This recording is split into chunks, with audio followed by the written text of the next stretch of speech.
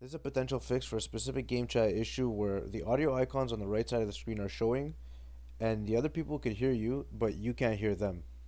This has been an issue in the game since day one and it makes the game much less enjoyable to play. You can't really communicate with anyone on your team and uh, unless you have Discord and you're on with your friends, you're pretty much playing by yourself and talking to no one. So first off, you're going to want to go to sound down here on the right.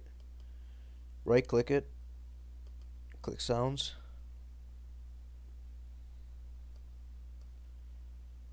Click playback.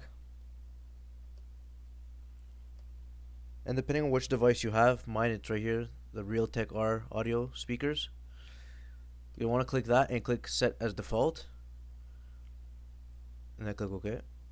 Right here, just like this is Realtek R audio, you're going to want to go to recording, Realtek R audio, click that, set as default, and then OK.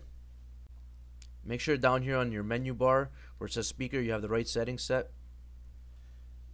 Go to options right here, right on the main screen where it says play and everything. Go to options, game settings, where it says general and everything. Go to voice chat. Make sure you have where it says output and input. Make sure it's on uh, default settings.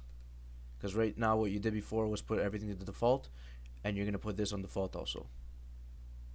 So if all this hasn't worked for you yet, you restarted your internet, you restarted your computer, you restarted Call of Duty, the last thing I can recommend that's actually helped me recently is you go down to where it says speaker, you right click, go to sounds, and this is the latest thing that helped everything. You're gonna right click everything else, okay?